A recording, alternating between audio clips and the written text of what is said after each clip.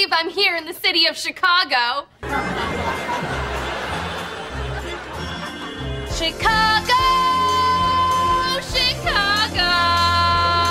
It's a city that's exciting. It's a city that's inviting. It's a city for a woman just like me. There's a lake they call Lake Michigan. I think I'm really fitting And This city is my perfect cup of tea. Chicago, Chicago.